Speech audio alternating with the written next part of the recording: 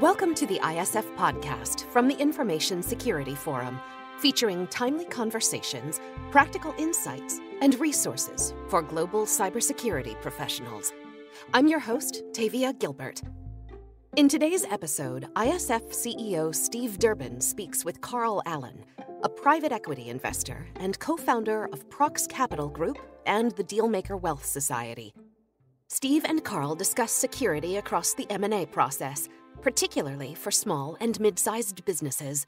Carl, thanks very much indeed for uh, joining us on the podcast.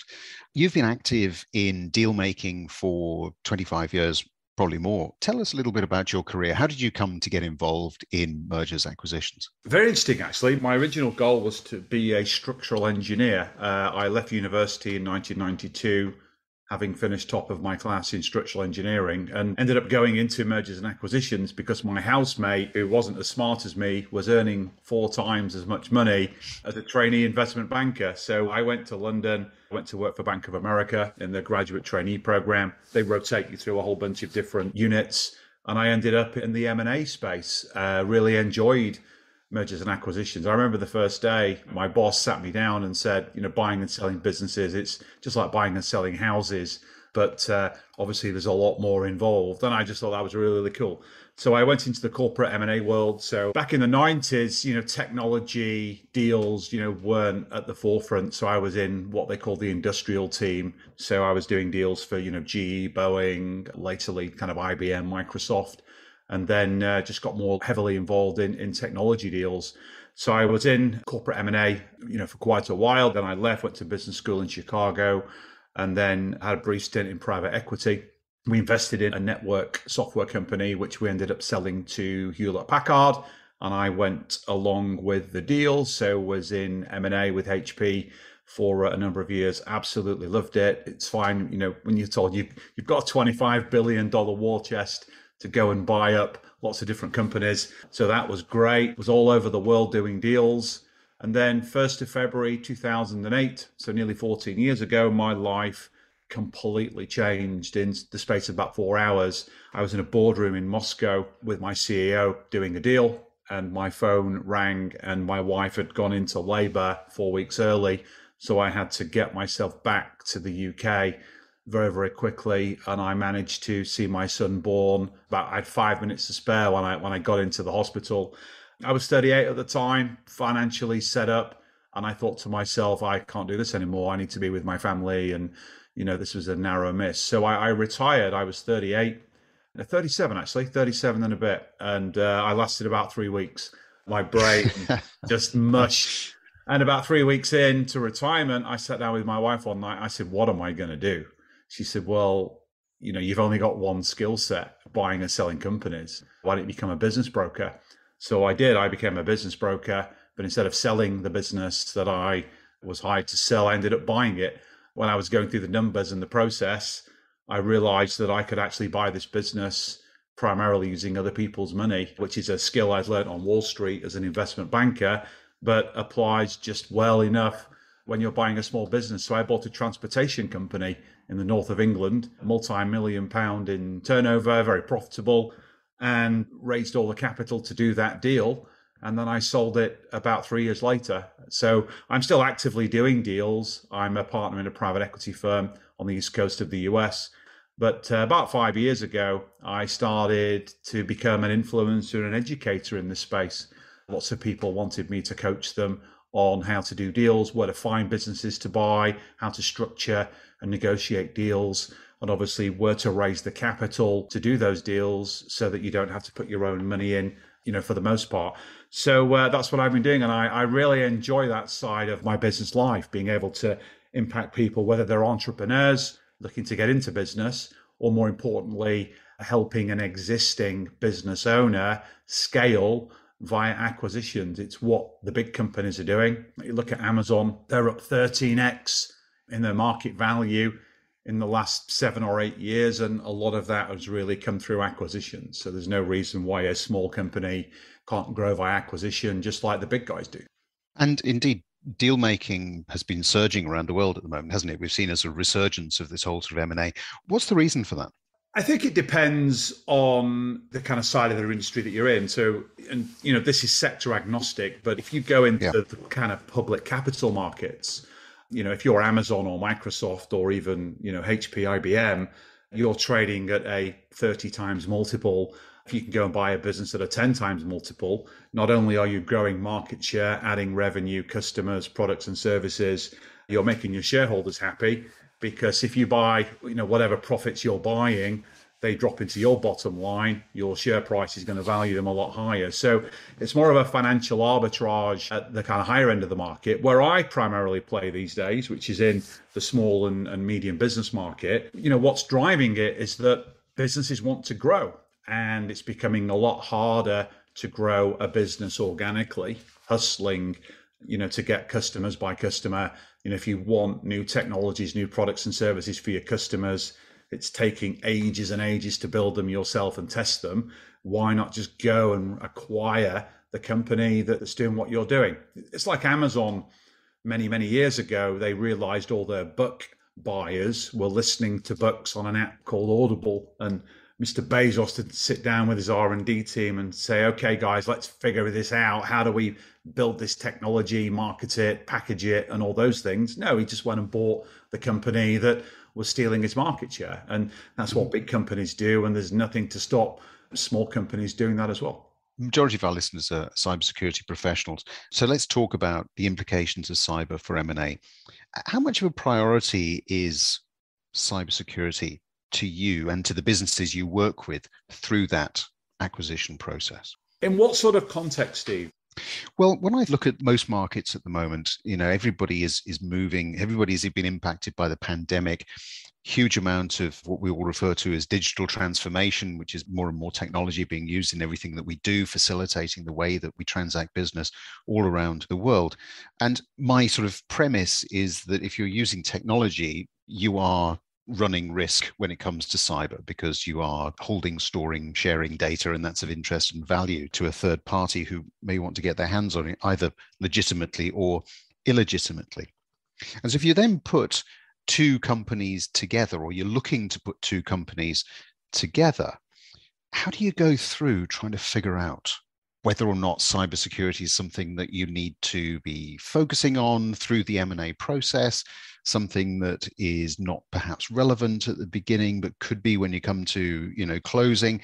So what is the role of cyber if you like? Yeah. today in that whole M&A process? Sure. So I, I think you split it into two parts. I think there's pre-closing issues and there's post-closing issues as well. So clearly when you're doing a deal, depending on how big or complex the deal is, ultimately you would go through a process of due diligence. And ultimately, as the buyer, you need to satisfy yourself that what you're buying is what you think it is. So there's a ton of legal, financial, taxation, and other documentation that you need to have. And what amazes me, what blows my mind even these days, is how much of that stuff is shared through apps like Dropbox and Google Drive. Mm-hmm.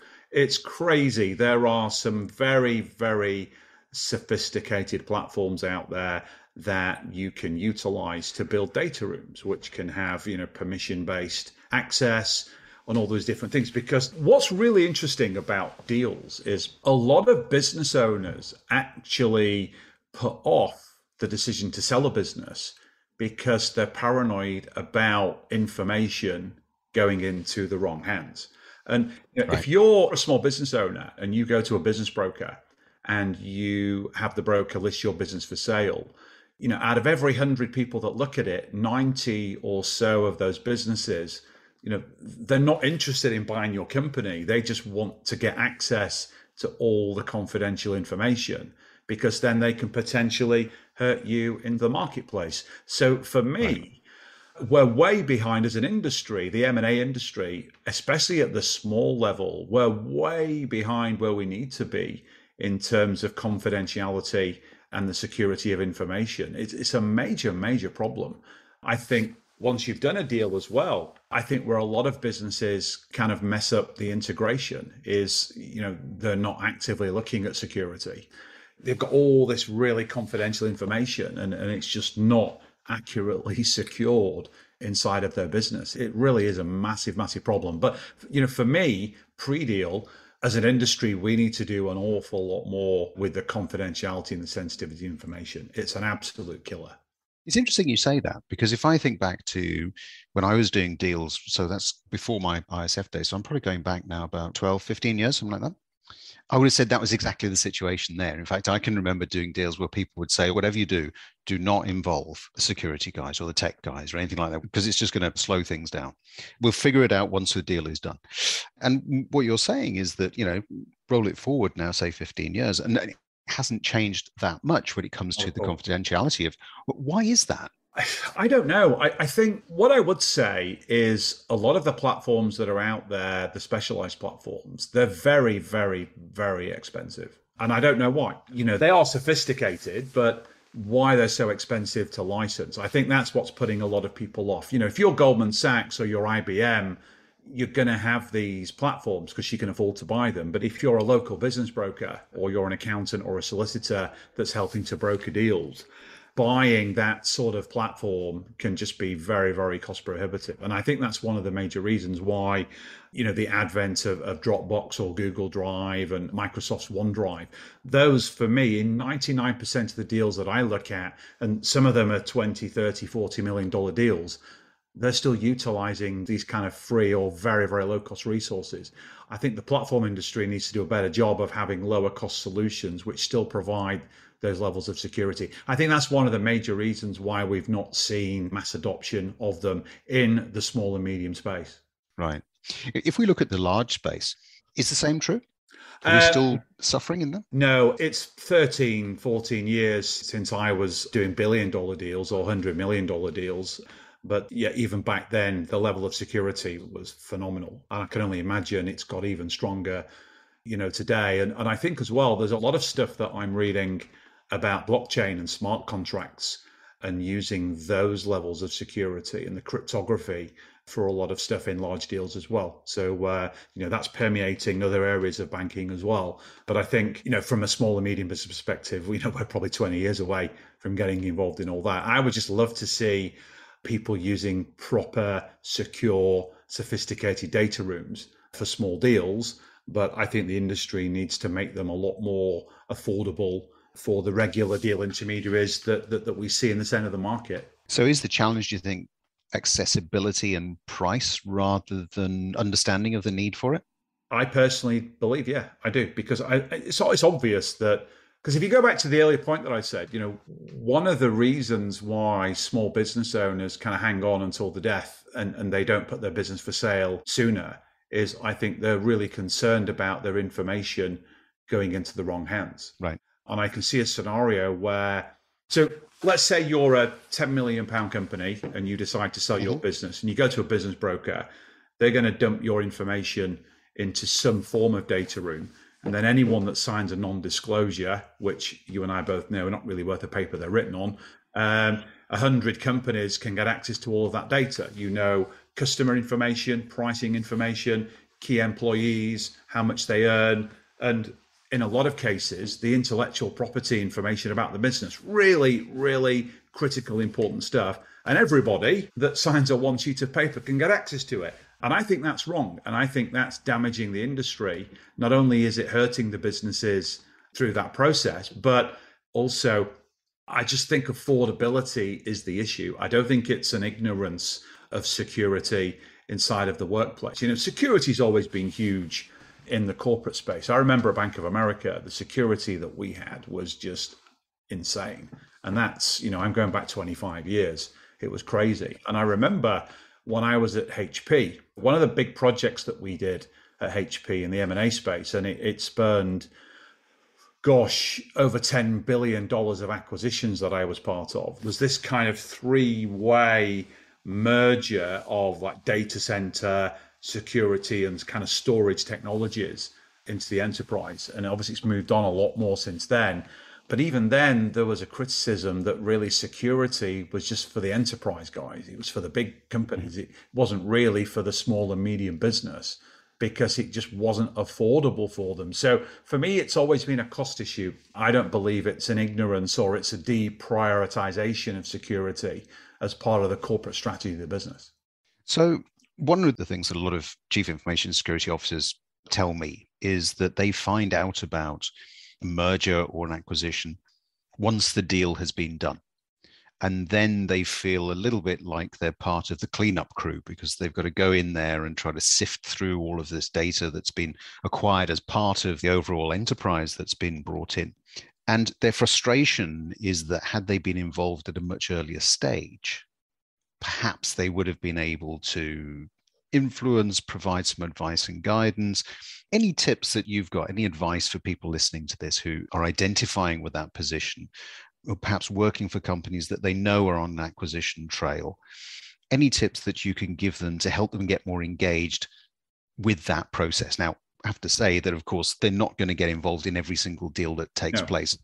But how can they get the message across that actually they can be more helpful the earlier they get engaged rather than post closing? Yeah, I think the problem is more getting them positioned at the right levels of the business to be part of right. the corporate strategy conversation because M&A really when you look at any business in the world whether it's a massive business or it's a small business M&A is the owners working on their business, not necessarily in their business. And what I find is that most of the security professionals, they're working more in the business. They don't have that kind of higher corporate strategic viewpoint or role, which means they can get involved in a lot of these things. So I think for me, it's more of positioning. It's more what they're doing in the business rather than you know getting part of the process because you know it's a no-brainer that they should be part of the journey it's like you know a lawyer wouldn't get involved in a deal after the fact. They're involved all the way through. You wouldn't do a deal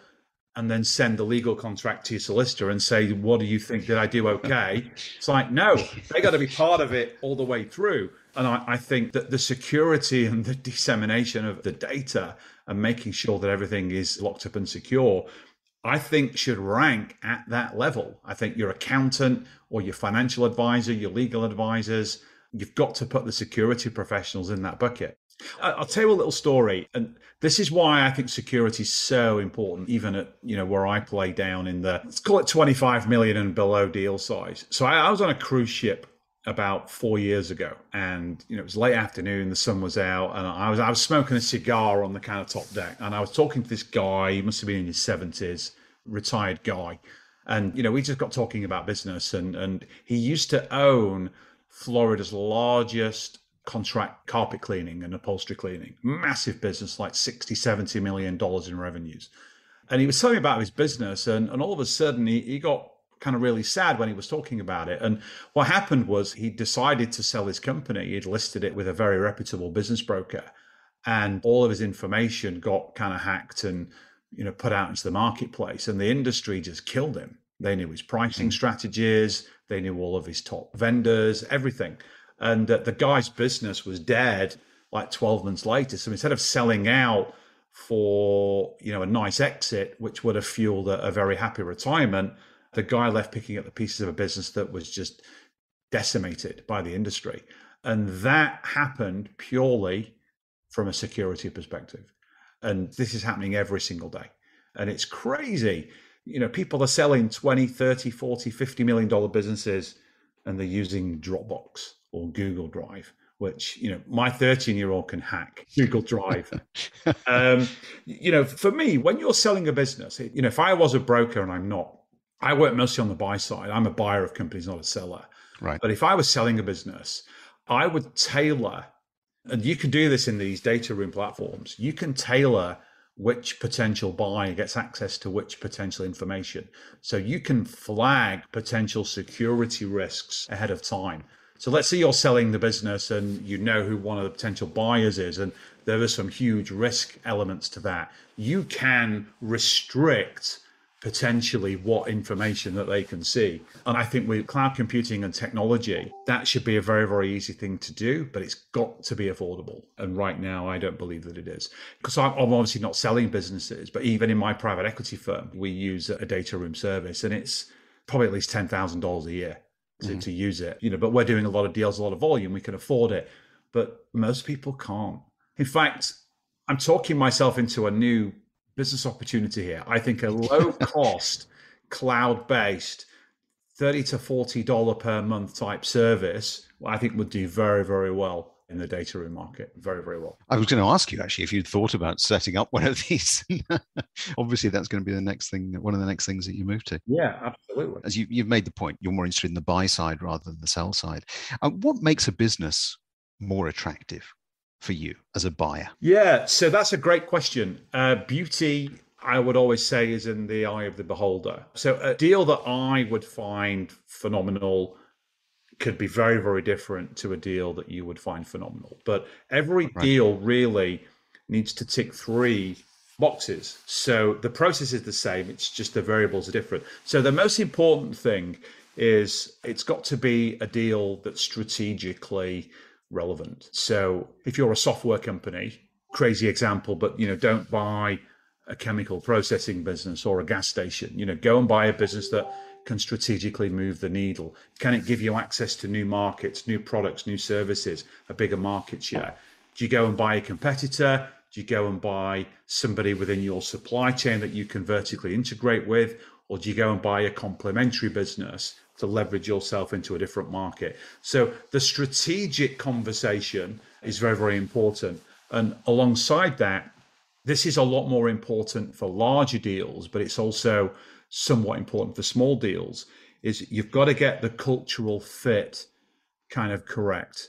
The single biggest killer of deals that don't work out once they complete is cultural mismatch. And I lived mm-hmm. through HP's acquisition of Compaq in 2003, right? Which yep. was the biggest cultural mismatch in the history of M&A. It, you had California Democrats acquiring Texas Republicans, and I won't get into U.S. politics, but that was never going to work, and it didn't. The two businesses just couldn't get along.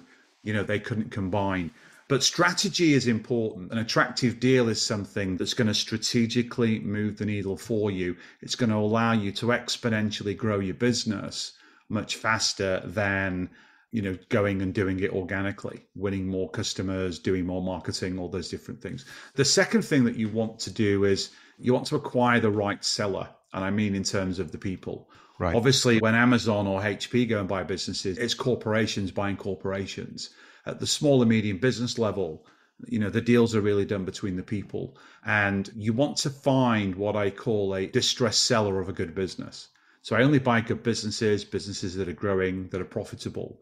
But what I'm typically doing is I'm tapping into the ballooning retiring baby boomer market. So if you go into the mm-hmm. States, you've got 10,000 baby boomers retiring like every single day. Right. And a large percentage of them own small businesses.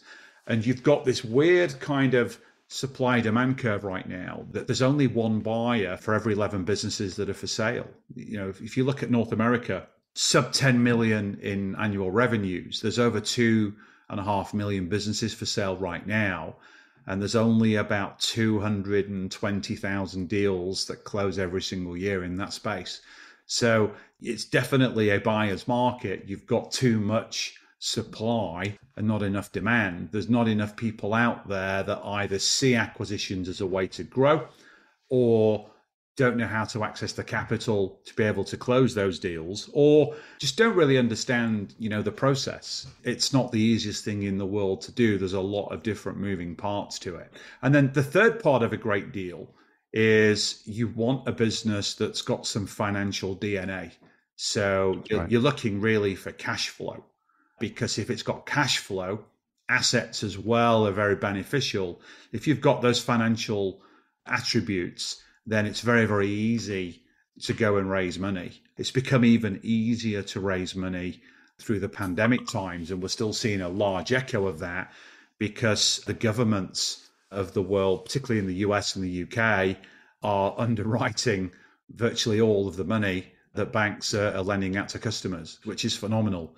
You've got in the UK, 80% of all bank funding is guaranteed by the government. You go to the US, it's 90% through something called the CARES Act that was passed earlier this year, which means that you and I are putting our money into a bank, we're getting 0.1% interest.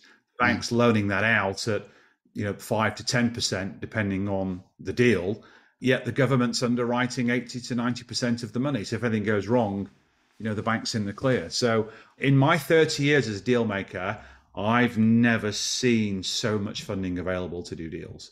It's absolutely crazy, but it's great. And you think that would push up the multiples. It's not. You'd think that would bring a lot more people to the market to do deals. It's not happening. It's crazy. You know, most business owners don't see acquisitions as a way to grow a small business. And, and I just don't understand that. It's the quickest, cheapest, less riskiest way of growing any business, but most people don't do it. Why is that? Let's go back to what I said before. I think it's not a very well understood process. Mm-hmm most people don't know how to do it most people don't know you know where to get the money from and they, they just you don't know what you don't know most small business owners know how to organically go out and hustle and grow a company working on their business and doing the strategic work of acquiring other companies you know often isn't just something that they're prepared to do. But you know i'm on a mission to change that. You know that's one of the reasons why in addition to doing deals i wanted to become an educator in this space to coach and mentor business owners to be able to take the leap and go and find really good businesses to buy that will strategically move the needle, help them understand the process of what they have to go through, how to find businesses, how to build relationships with sellers, how to negotiate, how to value and structure a deal so that it's a win win, and then how to go and raise the capital to make the deal happen. These are skills that one needs to learn and one needs to master. But once you do, uh, it just gives you another skill set for your toolbox to be able, you know, to really grow any business. One of the pushbacks that I quite often get when I talk to people about this, Carl, because I'm with you. I mean, you know, it is one of the easiest, quickest ways to grow a business. But one of the pushbacks I get is this fear of losing control. So, you know, here I am, I've got a 10, 11 million pound business. I want to grow. It's wholly owned by me at the moment but I have to go and get capital. And that means I'm going to have to give up some of that control. So, you know, how's that going to work out? Am I then going to be, you know, elbowed out of my own business? Is some of the concern. What are the sorts of things that you say to people who come to you with those concerns? Yeah. So, so you're talking about equity capital where you're diluting mm-hmm. your ownership. There are actually three ways that you can finance, you know, any deal, and you know, most deals will involve a mixture of all three. But in addition to going and raising equity capital, where you're selling a percentage of the business or the deal, where you know the vast majority of funding that's happening right now is really in the debt markets. So remember when I was talking about cash flow, you got great cash flow coming out of a business, then there's financial institutions all over the world. I'm talking trillions of dollars that will lend into the deal on the strength of those cash flows. So obviously borrowing money rather than selling equity yes, you've got to comply with covenants and financial rules. However, you're not diluting any of your ownership. And then in a lot of deals, especially the deals that I do, I'm looking for sellers to take some of the risk. So I will never pay 100% of a deal at closing.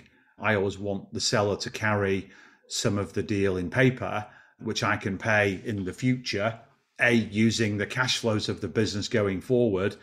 And then, you know, if we ever have a valuation gap where I think the business is worth less than what the seller does, then sometimes we can bridge that gap through an earnout structure. So we're paying bonus payments to sellers in the future based on some increased financial performance. So if you look at the US market, for example, one of the biggest funders of deals in the United States is the Small Business Administration, the SBA. So they have, you know, the 7A loan program is their biggest loan. It's only valid up to $5 million deals, which, you know, if you're paying no more than a five times multiple, it's allowing you to buy a business that's doing a million dollars a year in profits, which, you know, is mm-hmm. quite a big business. And the SBA will come in and they'll give you 80% of the funding to be able to do that deal, subject to all the things being above board and correct. And then they're asking the seller to carry a 10% piece and then you as the buyer have got to go out and find the other 10%. So if you're a small business right now and through your own leverage of your own resources, it's probably easy for you to go and get 10% of the deal. You know, if you're buying a $5 million business, you just need to find $500,000 of your own capital. You might have that sat on your own balance sheet. You might have a line mm-hmm. of credit with your own business. To your point, if you do have to go and raise some equity, then hopefully the equity level is not that high where the investor's not going to have really much control over what's happening. So you're still going to have 80 or 90% of the combined equity. You're just going to have a minority shareholder that's putting in some of the capital to allow you to do the deal. But I always see outside investors, they've got to be a value add. You should never go to an investor just for the money. An investor should add some value to your business, whether it's a skill gap that you're plugging, whether it's an experience level that they're bringing to the table, or whether it's a network that they can leverage. So I have a student in Australia and he's doing a roll up. So he's rolling up lots and lots of different businesses in a particular industry and he's in the medical industry. So he's buying up like Steve, we would call GPs in the UK. Mm-hmm. He's buying okay. up medical centers in Australia and he's done his first seven deals did it entirely with debt financing and seller financing. But now he's at the stage where he wants to go bigger. And he went and, and found a chairman who gave him a chunk of equity. So he sold a percentage of his business. So mm-hmm. given up a little bit of control. But that chairman has done exactly what Kevin's about to do in his former career. So not only has he got the capital to help him do more deals faster, he's bringing on board somebody that's got a wealth of experience and expertise in the market that he's in. So I think you've always got to look at an investor as somebody that's not only providing capital, but's going to add massive value. And then it really kind of helps you with that trade off. Fantastic. Carl, some really interesting insights there and, and lots of really helpful tips for anybody, I think, who's either looking to buy, looking to sell, or indeed who is part of a process that's ongoing. So thank you very much indeed for sharing those insights. Been been absolute pleasure talking to you. Thank you. You're welcome. Thank you. Listeners, if you found this discussion interesting, I'd encourage you to take a look at the show notes, where we link to some of ISF's resources in the mergers and acquisitions space, including their recently published research paper information security in mergers and acquisitions, as well as a video of ISF analyst Richard Absalom's March 2022 presentation on this topic. Thanks so much to this week's guest, Carl Allen. Next week, we speak with Brett Beranek, Vice President and General Manager of Security and Biometrics at Nuance Communications. Here's a preview. What has transpired in the on the technology side has been the introduction of deep neural networks, which has allowed us to leverage technology to find minute voice characteristics and to understand the relationship between those voice characteristics, which, you know, quite frankly, if you had a bunch of PhDs trying to figure that out manually, it just wouldn't be possible. And so that's really been the technological revolution that's allowed us today to be able to identify a person by their voice with as little as half a second of speech which is truly you know for those of us who have been following you know the biometric space is just it's just a phenomenal leap forward because we've gone from minutes of audio to to half a second we'll be back for the full conversation in a week in the meantime is there a topic or question that you'd like us to cover in a future episode let us know at securityforum.org which is also where you can find that catalog of past video and podcast episodes, as well as ISF's research, practical tools, and guidance related to discussions like today's. Follow us on LinkedIn by searching CEO Steve Durbin or Security Forum. Follow our audio feed wherever you get your podcasts so you never miss an episode. And if you like the ISF podcast, we'd love it if you'd write us short review and if you'd rate the podcast. The ISF podcast is produced by Talkbox and Tavia Gilbert, with music by Alexander Filipiak, associate producer Katie Flood, mix and master by Brian Barney. Thanks for listening.